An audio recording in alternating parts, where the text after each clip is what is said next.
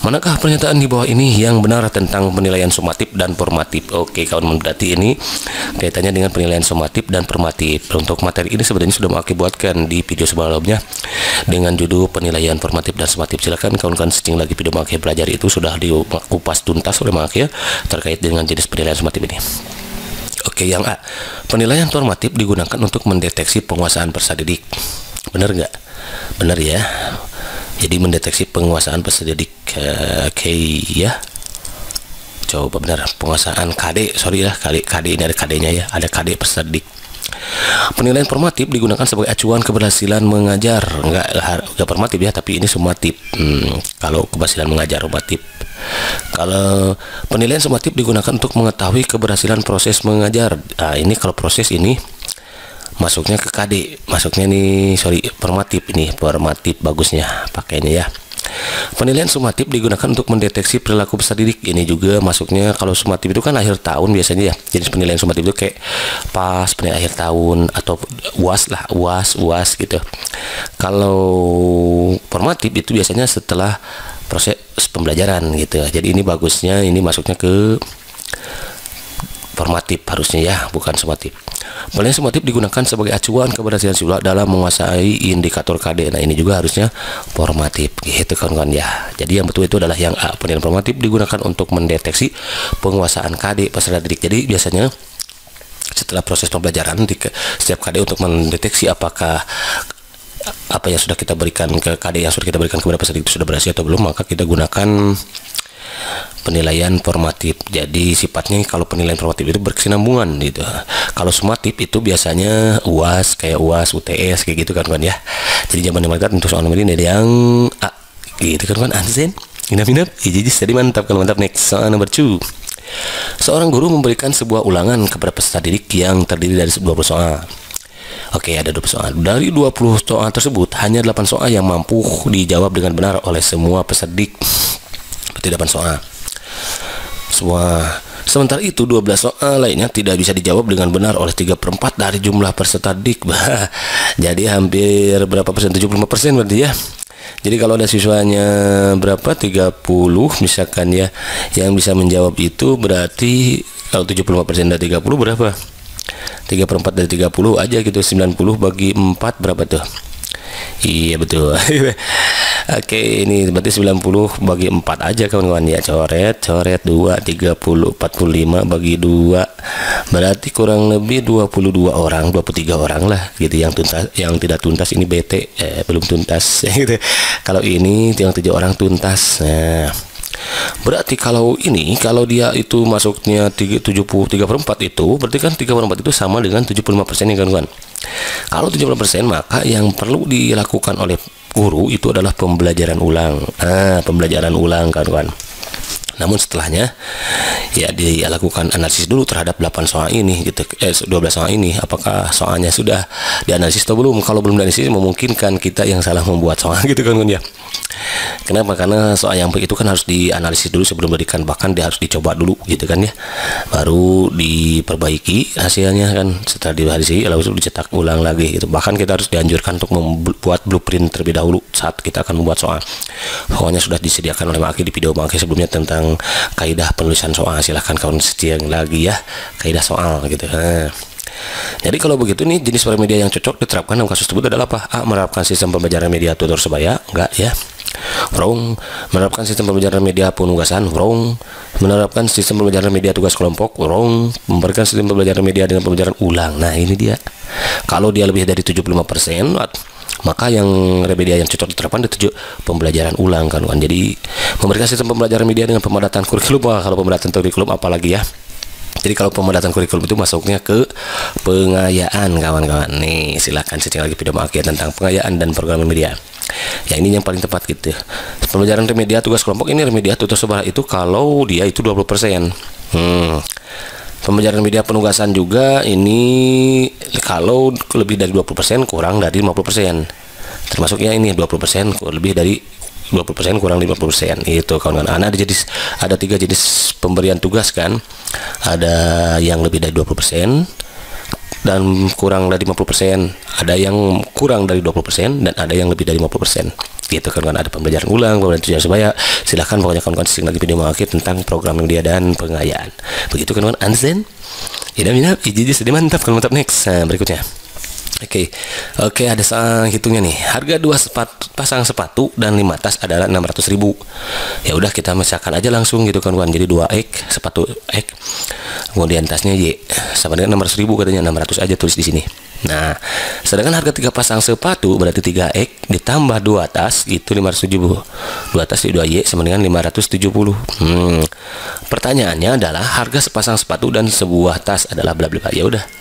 Nih kita cari koefisiennya yang dulu ya. Koefisiennya cari sama kita.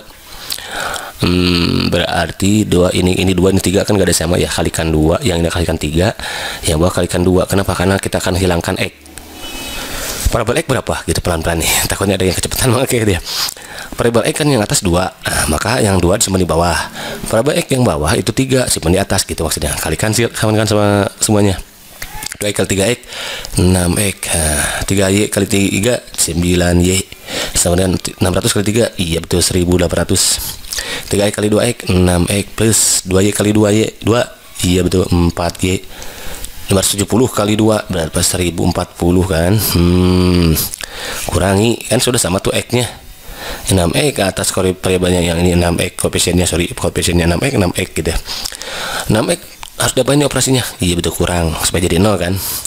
Jadi ini habis 6x kurangi 6x 9y kurangi 4y itu 5y ini jawabannya 0 10 kali 4 6 760 760 bagi 5 berarti 760 bagi 5 ah dapat 1 kali 5 mm -hmm ini berapa nih? Dua. Ya 260 bagi 5 berarti dapat 5 25 uh, uh, 250 10 bagi 5 2 152 rupiah berarti. 152 ribu ya berarti ini. Ya nya ya itu apa? Tas tasnya 152 ribu. Oke dapat. Sekarang dapat kita nyari X kalau nyari X berarti kita substitusi ini ke salah satu persamaan yang ini. Mau ini satu boleh yang kedua boleh. Misalkan ke yang satu aja 2X ditambah 3 atau karena y-nya yang paling kecil ini ya kita ambil pilih yang paling kecil ini koefisien variabelnya. Eh sorry koefisiennya ini kan y-nya 2 ya. Balik ambil yang bawah 3x tambah 2y sama dengan 570 3x ditambah 2 y nya kan sudah ada tuh 152 ya. Hmm. sama dengan 570 3x tambahin. Ini berarti 304 kan? Nah, 304 sama dengan 570 nah, berarti 3x sama dengan 570 dikurangi 3 eh, eh dikurangi 304 mm -hmm. 10 4 6 6 juga. 5 kali 3 266 bagi 3 266 bagi 3 kira-kira dapat gak nih? 26 berapa nih? 26 bagi 3 dapat 8 kali 3 24 ya 24 oke. Okay. 4 mm, 26 bagi 3 juga 8 juga. 8 bagi 3 24 juga. Ah, 20 ini kurang kurang ini nih kurang cantik nih. Ah, ini kemungkinan ada coba kalau cara gitu. Ini cara cara manualnya gitu kan ini camal cara manual atau cabi cara bingung. Nah kalau cara cepatnya kawan-kawan ya kita cek aja ke sini. Nih makanya kasih cara cepatnya. 2x tambah 3x bisa nggak? Boleh nggak? Boleh. Kita tambahin aja 5x plus 3Y oh 5 ternyata ya ini bukan 3 sorry pantesan itu kita nggak ketemu ya. Yang bawah 3 5 ditambah ini berapa? 3 ya. Oke ternyata ya. Oke oke oke pantesan ini. Masa ya 3 3Y 5Y kali 3 9 gitu ya. Pak sorry sorry maaf. Ya udahlah. Kalau gitu pantasan gak gak dari sininya gak gak, gak ganji gak genap gitu kan ya gak bisa dibagi. -mm. ya udah. Ini sama Maki ganti aja jadi tiga lah biar enak ya. Oke. okay. Ini juga tiga berarti oke nah ini cara ini berarti ternyata ini susah kan nah, cama cara, manual atau cabi cara bingung susah gitu cara susah ini, ini gitu Nah, supaya mudah kita ganti ininya tiga aja biar mudah. Nah, kalau ketemu soal seperti ini, pertama kawan-kawan jumlahin aja ininya. 2x tambah 3x 5x, 3y tambah 2x 5y. Ini tambahin juga nih kawan-kawan. 600 ini biar bulat ini jangan lima jangan setuju dulu nih. Sama maki diganti jadi 550 aja lah. Jadi 550 ya biar enak. Nah gitu. Oke okay, gitu. Jadi atau 500 aja lah. Nah, biar enak ya. Ini jadi bukan 570 tapi 500 ribu gitu. Jadi satu juta seratus ribu kan? Nah gitu maksud aku ya. Nah ini lima ini lima gitu kan? Kita bagi lima semua kan ditanyakan harga sepasang sepatu berarti X sama Y ya. Kita bagi lima supaya jadi X. Ini kan ketemu tuh X ditambah Y. Sama dengan sejuta seratus dibagi lima seratus sepuluh bagi lima. Kita coba lihat dua kali lima sepuluh dua puluh dua. Oh ternyata dua puluh dua berarti dua ratus dua puluh ribu kawan-kawan. Ah gitu ketemu kawan-kawan ya. Ada nggak yang di absen 220 ribu? Nggak ada ya. Kita ganti aja yang 10 ribu di 20 ribu. Gitu kan ya. Nah jadi jawabannya betul yang eh 220 ribu. Gitu kan kan ansen Inap inap jadi jadi mantap gitu kawan-kawan ya. Jadi kalau ketemu soal dengan yang soal seperti itu maka nanti kawan-kawan cara cepatnya cara cara manualnya kayak gini nih. Cuma hati-hati nih dalam penulisan ininya. Tadi ya koefisien kayak Aki tadi kan ini harusnya 5 ternyata tulisnya jadi tiga. Hmm. otomatis ke sini salah. Cuman ada cara cepatnya yaitu dengan cara dijumlahin aja. Kalau ditanyakan ekspresi ya udah coba jumlahin dulu ini kalau misalkan ini bisa dibagi disederhanakan jadi X plus Y baru boleh.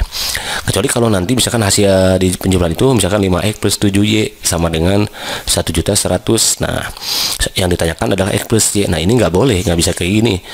Cara pengerjaannya adalah sama cara manual. Cuman kalau soal kayak gini soal CPNS soal UN itu kemungkinan pakai rumus cepat yang ini. Jadi si pembuat soal menghendaki kita menghendaki kita untuk mengerjakan dengan cara cara cepat gitu cara unik gitu kan kan? Understand Ilamin happy jadi selentap kalau mantap next soal number 4 nih di sini sudah sajikan sebuah masalah, namun apa pun masalahnya minumnya teh butuh susu gitu ya. Selalu ada masalah yang disebut dismoi solution. Biar apa? Iya betul. Biar sudah sih gitu kan ya. Soalnya kayak gini. Kita baca bareng-barengnya. Ketidakmampuan seorang peserta didik yang mengacu kepada gejala di mana peserta didik tidak mampu belajar seperti membaca, menulis, mau berhit atau berhitung. Yang disebabkan otak tidak mampu memproses informasi yang telah didapat dengan sebagaimana mestinya.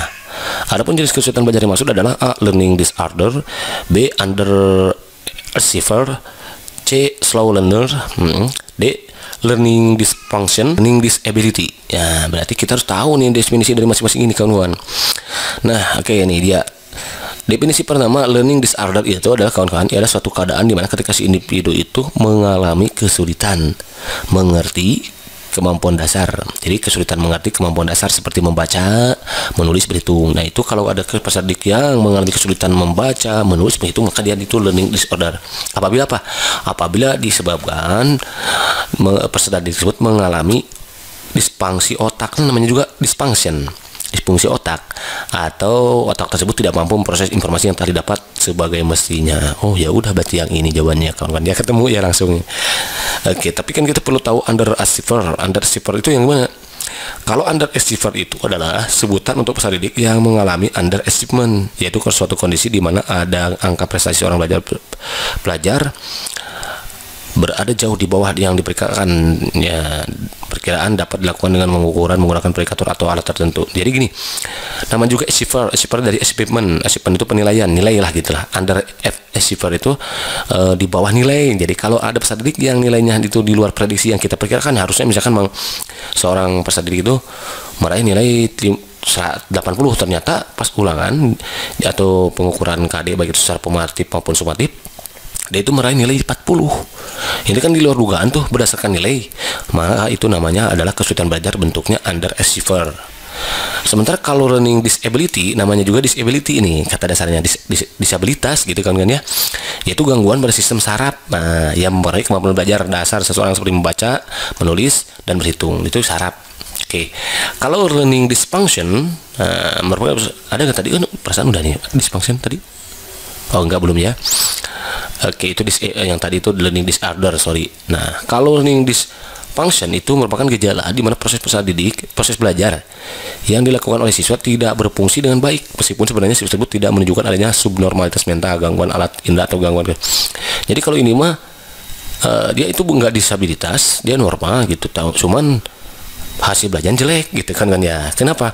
Karena proses belajar tidak apa siswa tidak berfungsi dengan sebaik sebenarnya. Jadi ini apa dia itu tidak padahal tidak ada gangguan alat indera maupun alat psikologis misalkan biasanya kan dia kesulitan belajar saat tidak mampuan dia melihat misalkan gitu ya mem melihat atau membaca tulisan yang dilakukan oleh guru di depan kelas karena ada gangguan mata enggak ini kalau ini normal cuman dia tidak mampu memproses hasil belajar gitu kawan-kawan.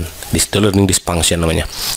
Ada lagi lamban belajar atau slow learner. Nah, adalah anak yang memiliki potensi intelektual sedikit di bawah anak normal gitu tapi tidak termasuk anak tunagrahita biasanya mereka IQ-nya itu 80 sampai 85 mereka membutuhkan waktu yuk belajar lebih lama. Nama juga lamban gitu. Gitu aja lah.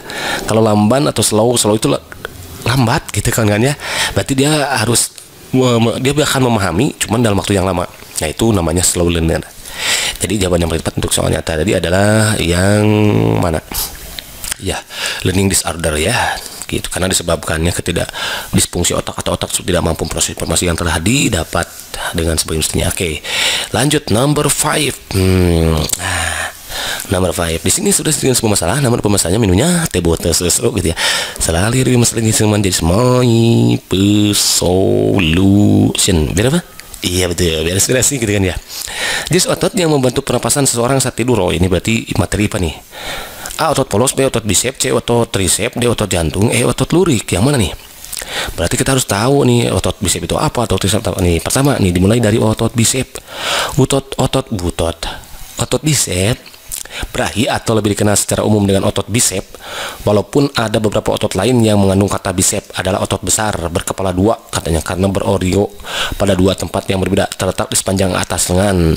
Eh, lengan atas dua caput tersebut adalah caput longun panjang. Itu otot bisep ya dikenalnya dengan otot bisep. Hmm, hmm, ada otot besar berkepala dua gitu katanya. Bukan kan? Ini yang membantu kita bernapas saat tidur. Apa? Otot yang ditemukan dalam organ pencernaan dan pembuluh darah bekerja dengan pengaturan dari sistem saraf tak sadar atau saraf otonom. Otot polos dibentuk oleh sel otot yang terbentuk dari gelembu gendong dengan kedua ujung meruncing satu satu inti dua. Itu otot polos nih definisi otot polos.